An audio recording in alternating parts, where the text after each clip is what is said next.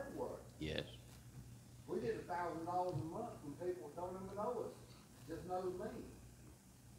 And he hears how, him and his wife hear how excited I am about Genesis Baptist Church.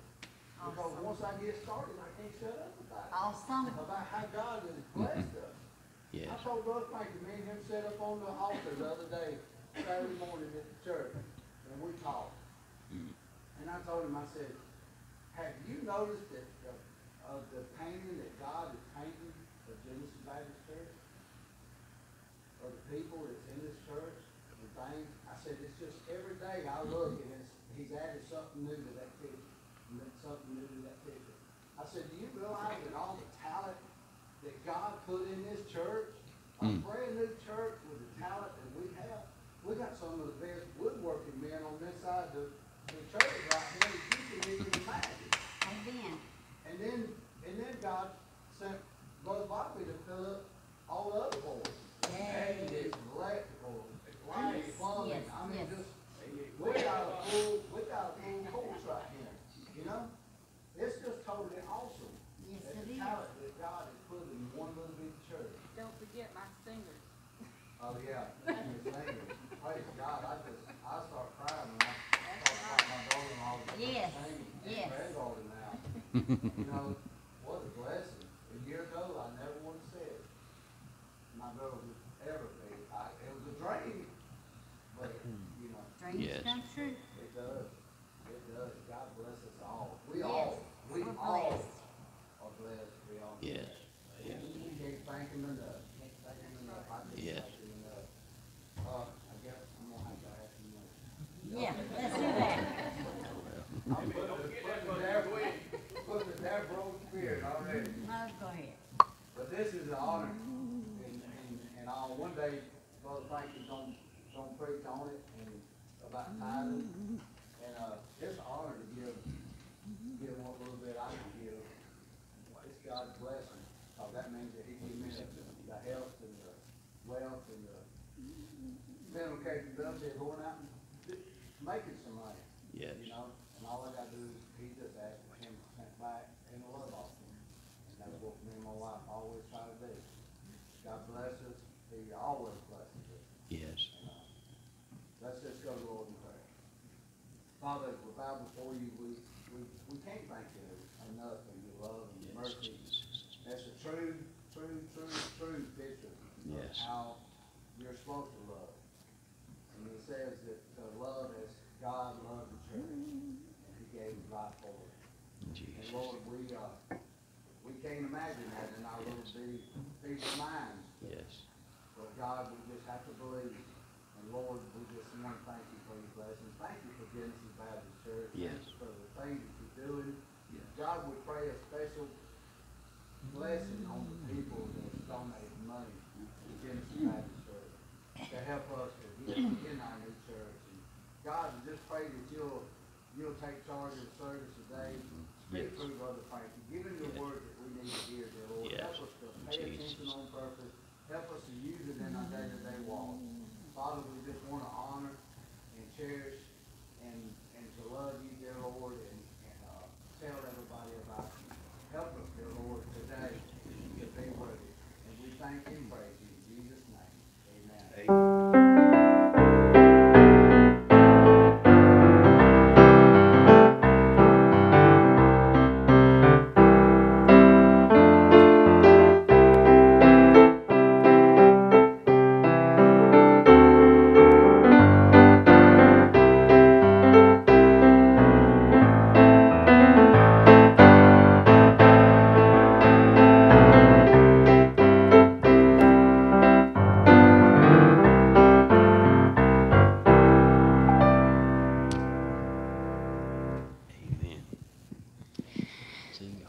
You know why a lot of people don't do anything in church or they just come to church? They don't offer to, they don't volunteer and they don't offer because they feel like they can't.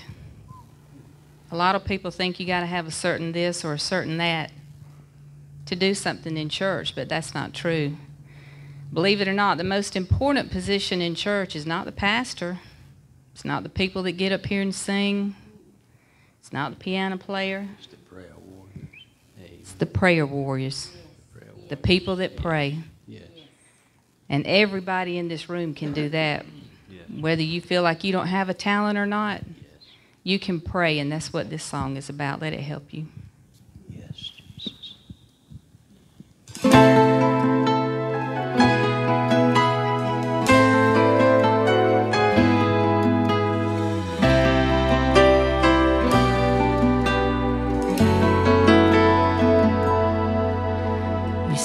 That I'm not able, I'm too young or I'm too old, and I can't sing or teach, and no title do I hold. Lord, what can I do?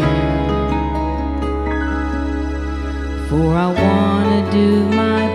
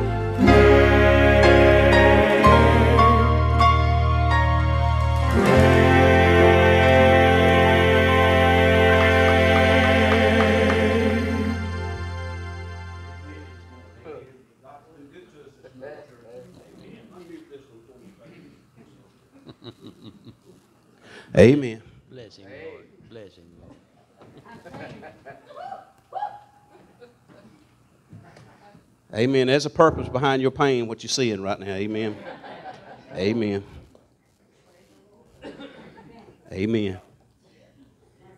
Thank y'all for all that beautiful singing this morning. I mean, I'm, I'm thankful that God stirred our hearts this morning. And oh, yeah, I know what time it is. Amen. And I promise you, I'm gonna preach fast if you'll listen fast this morning. But y'all sung for an hour, so I'm gonna preach for an hour. Amen. Amen. No, I'm gonna get on through this. Amen. I'm not gonna hold you long. What's old fella said? Uh, I always heard him say, uh, "I'm gonna do you like Elizabeth Taylor done her last husband." I ain't gonna hold you too long. Amen. Amen. Just want to make you laugh a little bit. Amen. You're gonna cry here in just a little bit. Um, Nah. If you have your Bibles this morning, I pray that you do, would you look at uh, uh, flip over to the first book of the Bible, Genesis chapter number 37 this morning. Genesis chapter number 37 is where I'm going to be reading. I got a little bit of scripture to read. Um, I preached all over this subject many times before, and uh, I just felt just in my spirit, my heart. I told Tina for a few weeks uh, I've been wanting to preach uh, along these lines, and uh, God hadn't given me a green light, and He still hadn't given me the green light to preach on favor. I have been wanting to preach for over a month on favor, and God hadn't given me the green light yet, so maybe He's waiting to, to really favor us, amen, before He lets me go in that direction. Not that He already had, but y'all know what I'm talking about, amen. He, uh, God's going to show up in a mighty way, and I ain't going to have no choice but to preach on it. Um, but if you have your Bibles, look in uh, Genesis chapter number 37, and I'm going to pick up in verse number 12. If you'd stand and stretch your legs just for a minute, just to reverence the reading of God's word this morning, amen. Bible says in verse number 12, and his brethren went out to feed their father's flock in Shechem. And Israel said unto Joseph, Do not thy brethren feed the flock in Shechem? Come, and I will send thee unto him. And he said unto him, Here am I. And he said unto him, Go, I pray thee, see whether not uh, see whether it be well with my brethren and well with the flocks, and bring me word again. So he sent him out of the valley of Hebron, and he came into Shechem. And a certain man found him, and behold, he was wandering in the field. And the man asking him, saying, What seekest thou? And he said, I seek my brethren. Tell me, I pray thee, where they feed their flocks. And the man said, They are departed hence, for I heard them say, Let us go to Dothan. And Joseph went after his brethren and found them in Dothan. And when he, they saw him afar off, uh, even before he came near unto them, they conspired against him to slay him. And they said to one another, Behold, this dreamer cometh. Come now, therefore, and let us slay him and cast him into some pit. And we will say that some evil beast have devoured him, and we shall see what will become of his dreams. And Reuben heard it, and he delivered him out of the hands. And he said, let us not kill him. And Reuben said unto them, Shed no blood, but cast him into this pit, that in, that, that in this wilderness, and lay no hand upon him, that he might, we might rid him out of their hands, to deliver him unto his father again. And it came to pass when Joseph was coming to his brethren, and they, they stripped Joseph out of his coat. His coat of many colors was taken from, was on him. And they took him and they cast him into a pit and the pit was empty. There was no water in it. They sat down to eat bread, and they lifted up their eyes and looked, and behold, a company of Ishmaelites came from Gilead with their camels bearing spicery and balm and myrrh, going to carry it to Egypt. And Judah said unto his brothers, What profit is us to slay our brother and conceal his blood? Come, let us sell him to the Ishmaelite, Ishmaelites, and let our not our hand be upon him. He is our brother in our flesh, and his brethren were content. And, and then they pressed by Midian its, its merchantmen, and then they drew up and lifted Joseph out of the pit and sold Joseph to the Ishmaelites for 20 pieces of silver. And they brought Joseph unto Egypt. And Reuben returned to the pit. Behold, Joseph was not in the pit, and he rent his clothes, and he returned unto his brethren and said, the child is not, and whither shall I go? And they took Joseph's coat and killed the kid of a goat and dipped the coat in blood. And they sent the coat of many colors as they brought it to their father and said, This have we found. Now we know now whether it be thy son's coat or no. And he knew it, and he said, It is my son's coat. And the evil beast have devoured him. Joseph is without doubt rent in pieces. And Jacob rent his clothes and put sackcloth upon his loins and, and mourned for his son many days. All of his sons and all of his daughters rose up to comfort him, but he refused to be comforted. And he said, For I will go down to the grave with my son mourning. Thus his father wept for him. And the Midianites sold him into Egypt unto Potiphar, and an officer of Pharaoh's uh, captain of the guard. Let us pray. Father, God, I thank you for your word this morning. Father, I thank you, God, for the spirit that's already stirred in here, and God just, just got our hearts pumping And God. I just thank you so much, Father, for visiting Genesis Baptist Church this morning. God, you never cease to amaze me. Now, God, I know the words you've laid on my heart, Father. God, I pray right now, God, you would speak through me. God, you'd use me as a mouthpiece. God, you're manifold. God, however you would try to play this instrument this morning, God, I yield myself to you. God, help our congregation this morning. God, help our people this morning. God, help us to be different when we walk out the door than when we came in this morning. God, we love you. God, I thank you. And God, I'm going to go ahead and give you glory for everything that you've done already and what you're going to do in this service. Father, I love you. It's in your name I pray. In the name of Jesus. Amen, amen. and amen. The grass withers and the flower fadeth away, but the word of our Lord shall stand forever. Amen. amen. Now go ahead and lean over and find you a good neighbor. Amen. I ain't going to tell you to shake their hand or touch them or nothing, but you can fist bump them or just give them an air high five. Amen. Just tell them the preacher needs your prayers. He needs all, y'all looking at me, look at somebody. Amen. He needs your prayers. He needs all the help he can get this morning. I'm going to get us through so we can go find something to eat. Amen. I posted that picture on uh, Facebook again yesterday or day before yesterday. I seen a memory I shared. I think it said a year ago or two years ago where that chicken was walking by KFC behind the bush and say, Yea, though I walk through the valley of the shadow of death. Amen. I said, Yeah, buddy, I'm going to get you. Amen. Amen. Brothers and sisters, as you study this scripture and study around and before this, this is a very dysfunctional family. And don't look at nobody, don't shout amen right there. Amen. This is a very dysfunctional family. Abraham, who is the patriarch, I mean, he is the man, amen, is dysfunctional. Stay with me. He has a son with his wife's servant, Hagar, Ishmael. But Ishmael, Ishmael is not the son of promise. Amen. Have I got a Bible reader right here? And God waits till Abram and Sarah are past their childbearing years. And I've touched on that many times. And I love that scripture. Amen. I always say, amen. There's hope for us. Amen. Amen. And they have a son named Isaac. And now Sarah, who has permitted Abraham to lay with Hagar, now wants Abraham to run off Hagar, get rid of her, and Ishmael.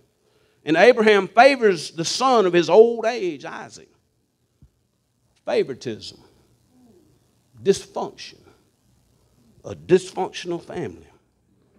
Then let's keep moving. Amen. And then Isaac marries Rebekah.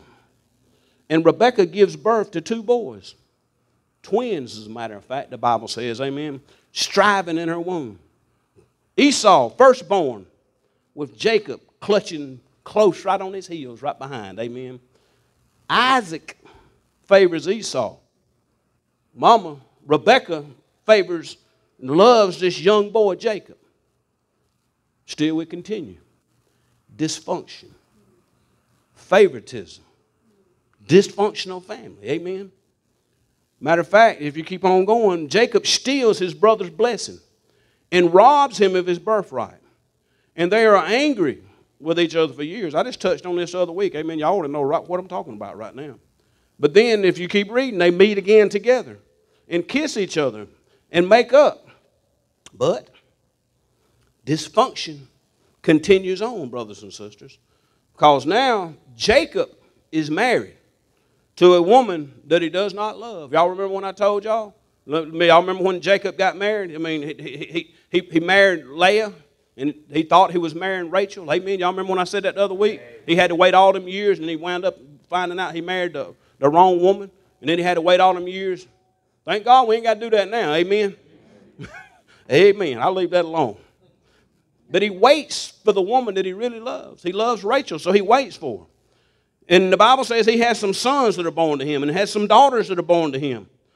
But Joseph, here we go. Joseph is the son of his old age. He favors Joseph over all of these other children. And so much that he makes him a little technicolor coat. He makes him a little technicolor coat, amen, a special coat. A coat, brothers and sisters, of many colors. A coat of many colors. To distinguish him, to set him apart as the one that he truly loves. Amen. Maybe that's the reason why Tina bought me this coat. She truly loves me. Amen. I'm just kidding. Amen. But that coat set him apart. And when I picked the story up in the scripture that I just read and you're hearing, amen, in chapter number 37, the boys are out grazing the sheep in the pasture. They're out, they're out doing their work. Amen. And, and Jacob sends Joseph to check on his older brothers. He sends him out there to check on his brothers. Now, what do you really think is going through Jacob's mind to send Joseph to his older brothers to check on them? Let's think about this a minute. He sends Joseph, the baby boy, to go out in the field and check on, and really and truthfully, I mean, if you read that, he said to send, send bring back report, really to just check on them, maybe even to tell on them or tell on his older brothers. Now, brothers and sisters, it's bad enough that he's sending him out to go make a report on his brothers. But he sends him out there with that special coat. It's bad enough sending the younger boy to come back with a report on the older boys, but he sends him out there with that thing that makes those boys mad. The one thing that they really don't like in the first place. That coat of many colors. I wish I had somebody to help me right here. Amen. It's bad enough that he's going to report on his older brothers, but he goes out and makes a report in that coat that they really can't stand. Y'all don't say nothing. I know y'all like my coat this morning. Amen. I just wore it to prove a point this morning. I just want I, I love stuff and illustrations and things. I'm just trying to paint you the picture. And they see him coming. They see him from afar. Could you imagine if he had this coat on? You'd see him coming all right. Amen. I just that's just the reason why I wore it this morning. I'm trying to paint a picture. Amen. And yeah, I bought this coat before I got them colorblind glasses. But I looked at it after I got them and I still like it. Amen. Just Tina won't let me wear it too much. Amen. I got a witness on the front row. Amen. but Joseph is young, brothers and sisters, and he's naive enough to tell his brothers, and he's told them in the past about his dreams.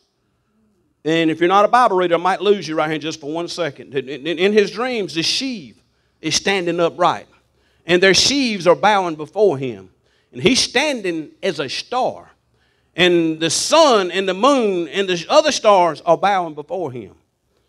And his father Jacob, he keeps that in his heart. Amen. Because not only is Joseph a dreamer, but Joseph is the object, watch this, of Jacob's dream.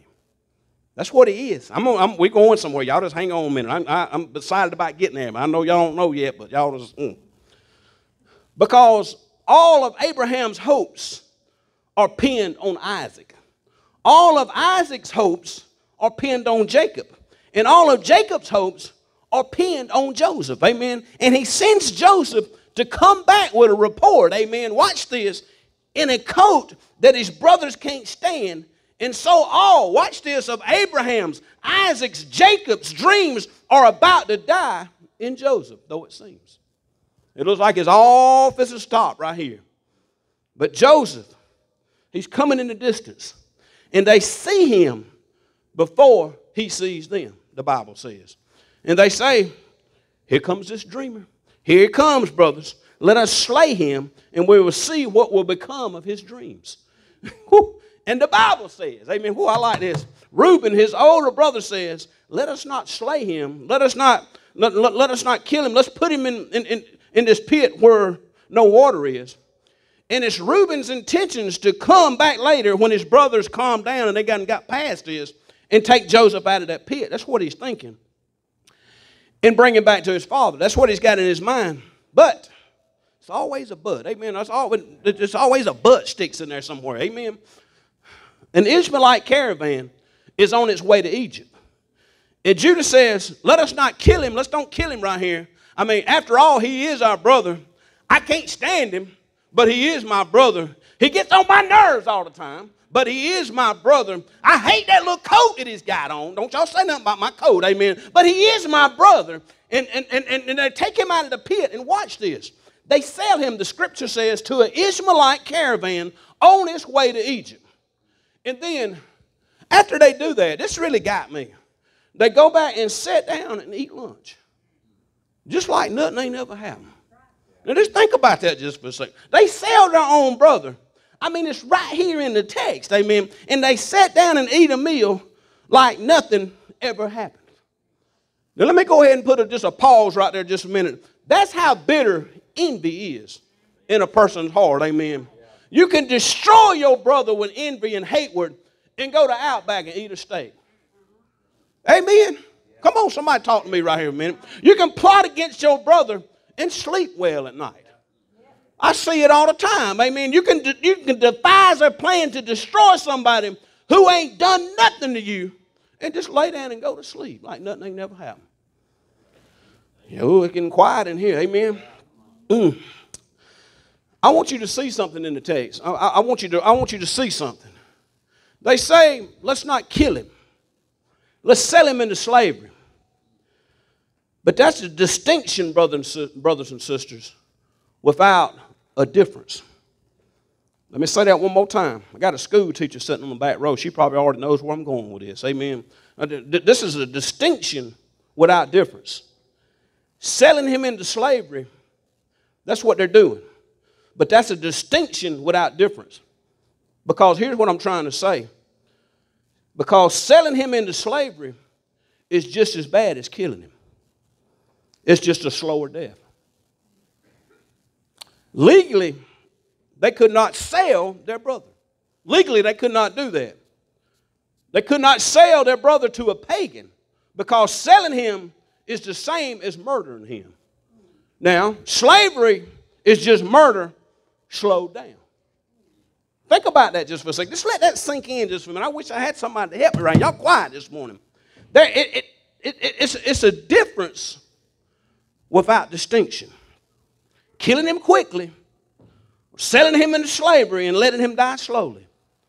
The difference, brothers and sisters, is time. The difference is time. He's dead either way. He's dead either way whether they kill him immediately or die in slavery, he's still dead. And if he's not, watch this, physically dead, he's dead to them. He's dead to them. Because murder, brothers and sisters, if you study your Bible, murder does not begin with a physical act. Murder begins in the heart. It begins in the heart, brothers and sisters. They killed Joseph long before they ever sold him. They had killed him, murdered him in their heart. Amen.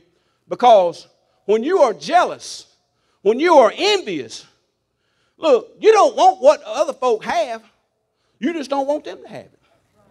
Amen. I mean, you don't want what they got, you just don't want them to have it. That's what it is.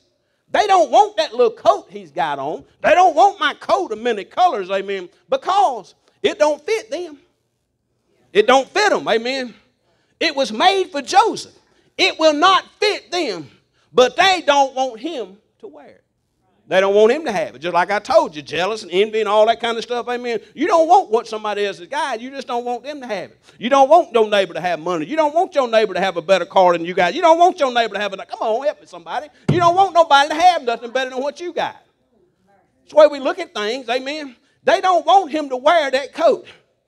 And the favor, brothers and sisters, that God look puts on somebody else's life, it don't fit you.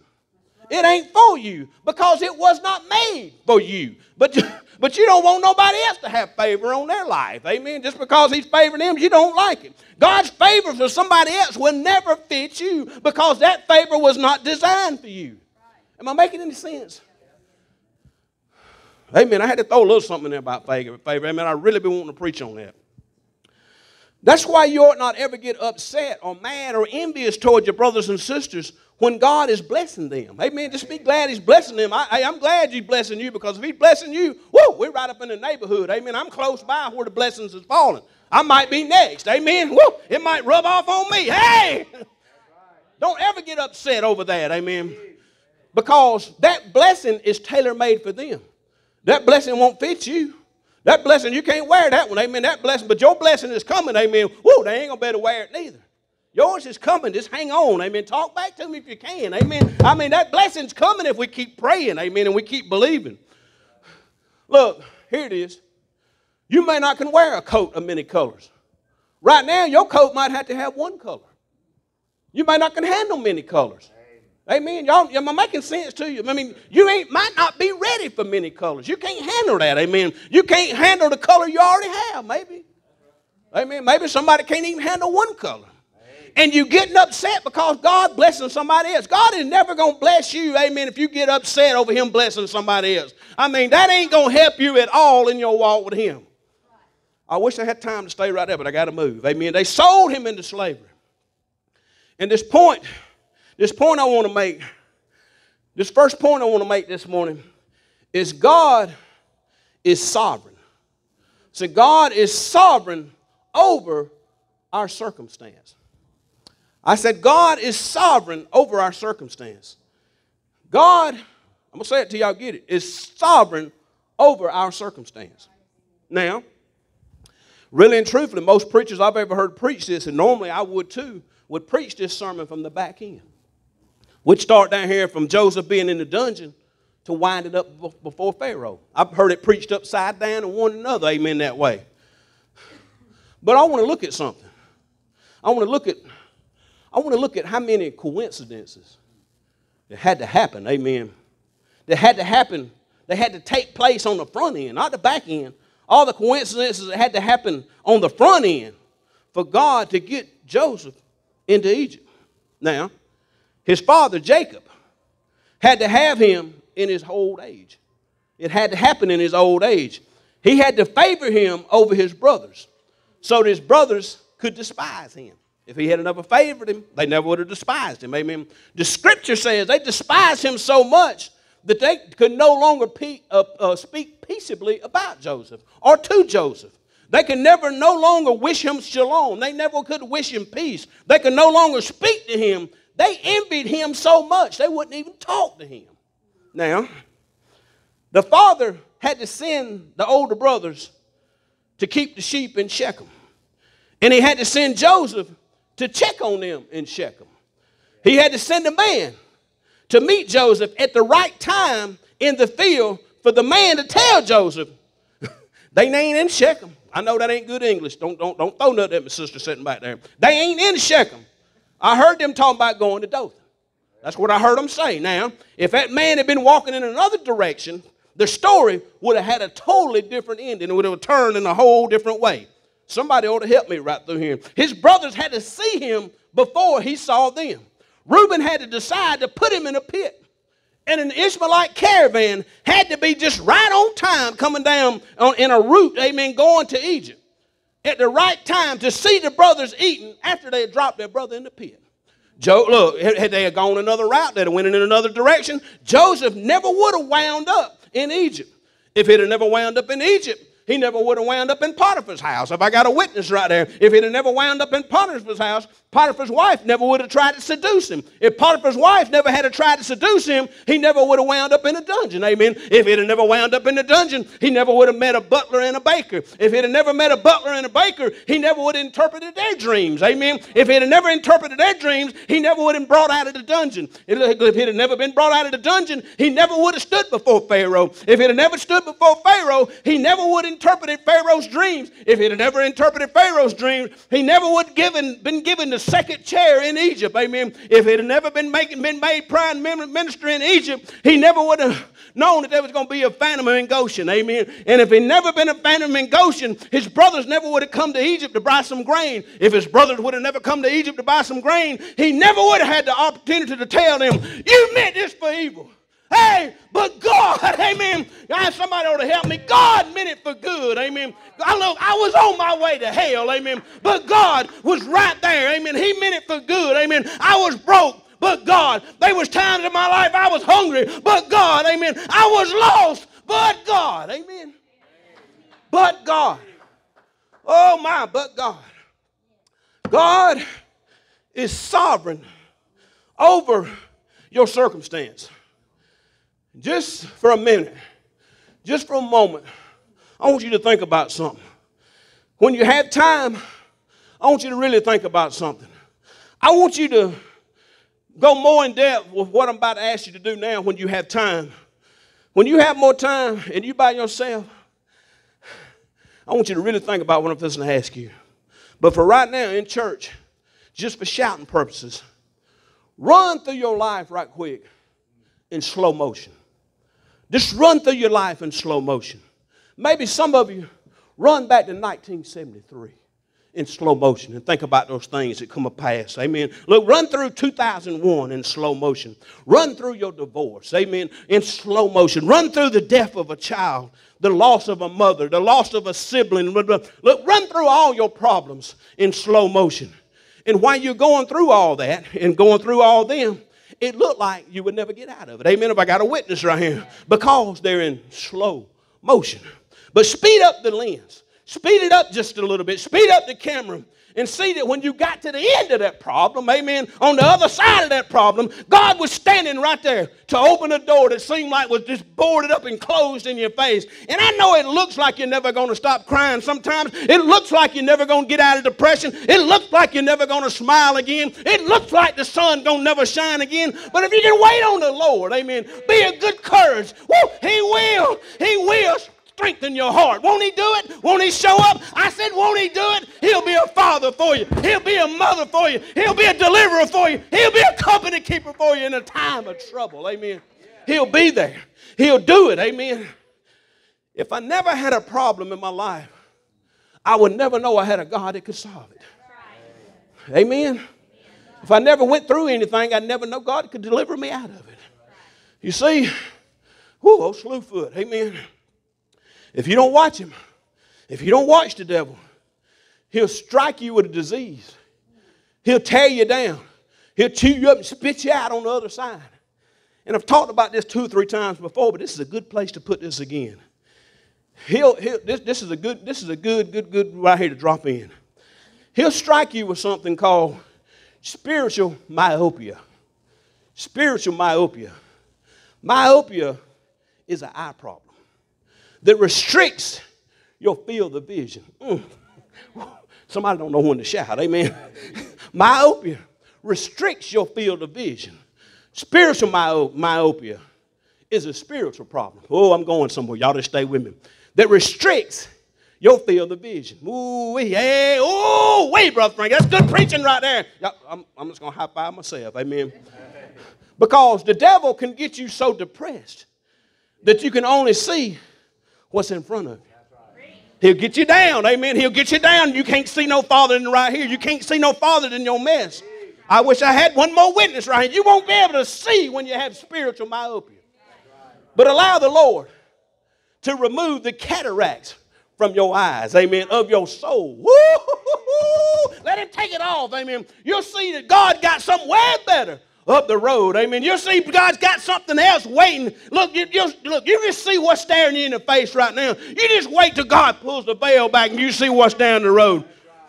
In your spiritual myopia vision, you just see just a little bit. You can only see just a little bit in front of you. And you start complaining about what you don't have. Oh, my. Oh, Brother Frankie, don't, don't go there. Uh, you just you start complaining about what you don't have. You don't have it, amen. Instead of praising God for what you do have, amen. Hey, help me right here, amen. Because whatever God takes from you, you still got some more left. Amen. Hey, I said he got some more. I'm about to shout by myself. No matter what I lose, amen, I still got a little bit. Amen. No matter what goes on in my life, I still got the Lord to hang on to. Amen. God will never leave you empty handed. I was thinking about this. I was thinking about it this morning. Matter of fact, I was thinking about it laying in the bed last night about this. And I've testified about a lot of this stuff all the time. I know it's just like a broken record sometimes, but I can't help but think of what God's brought me from. Satan is constantly